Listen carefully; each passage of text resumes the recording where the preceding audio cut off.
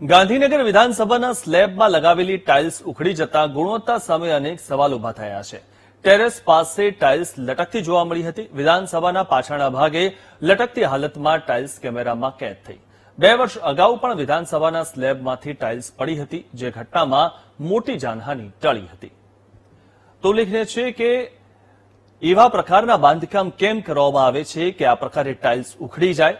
કારણ કે જે જૂના બાંધકામ હતા, અંગ્રેજો વખતના બાંધકામ હતા, પછી તે વિધાનસભાનું બાંધકામ હોય કે પછી લોકસભાનું બાંધકામ હોય, સંસદ હોય, જે જૂના બનાવેલા બાંધકામ છે તે હજુ પણ મજબૂત છે, પરંતુ નવા બનાવેલા જે બાંધકામ છે તેમાંથી આ રીતે કાં તો પાણી ટપકે અથવા તો ટાઇલ્સ ઉડી જાય છે.